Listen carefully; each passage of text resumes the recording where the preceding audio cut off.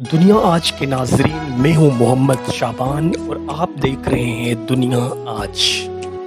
Moses नाजरीन, ये कहानी है पाकिस्तान के सूबे खैबर पख्तूनख्वा के एक इलाके हंगू में मुकीम एतजाज़ हसन बंगश की, जिनकी उम्र महज चौदह बरस थी और आप नौवीं जमात के एक तालब इलम थे।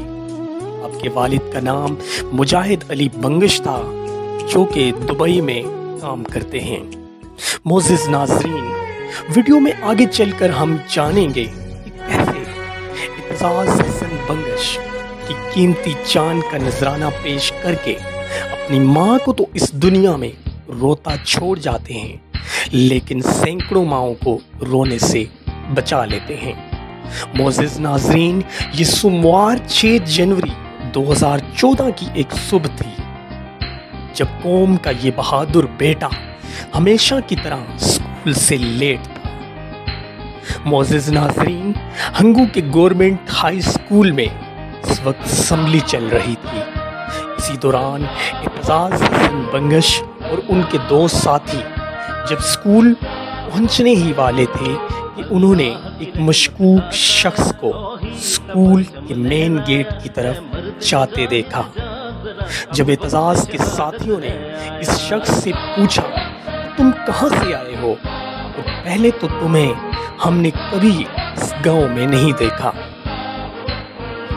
जब इस शख्स की तलाशी ली गई तो पता चला कि इसने अपने साथ बारूदी मवाद बाँध रखा है और स्कूल में दाखिल होने की कोशिश कर रहा है। ये देखकर एतजाज के साथी तो दूर भाग गए।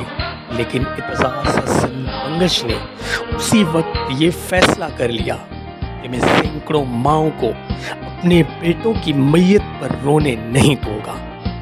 इतजाज ने खुदकुश हमला आवर को अपनी मज़बूत बाजुओं में जकड़ लिया। जब खुदकुश हमला आवर बेबस हो गया तो इसने अपने आप को धमाके से उड़ा दिया।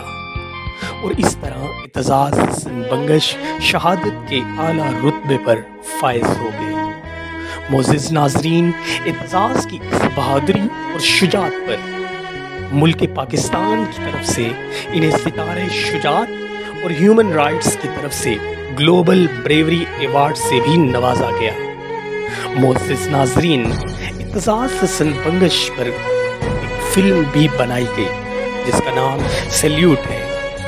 की इस बहादुरी और शहादत पर गवर्नमेंट हाई स्कूल हंगू का नाम बदलकर इतजाज हसन शहीद स्कूल रख दिया गया। मोजिज नाजरीन, हमारी दुआ है कि अल्लाह पाक इस मुल्क के हर बच्चे को इतजाज जैसा ही बना दे, जो इस मुल्क की तरफ़ उठने वाली हर मैली नज़र पर कारी ज़रब लगाए और दुश्मन के नापाक अजाइम को चकना चूर कर दे। मोजिज़ नाजरीन, वीडियो के अख्ताम पर मेरी आपसे ये दरख्वास्त है कि हमारे चैनल को सब्सक्राइब कर लें, वीडियो को लाइक करें और शेयर करें और बेल आइकन को भी क्लिक कर दें ताकि हमारी हर आने वाली वीडियो आप तक सबसे पहले पहुँच पाए।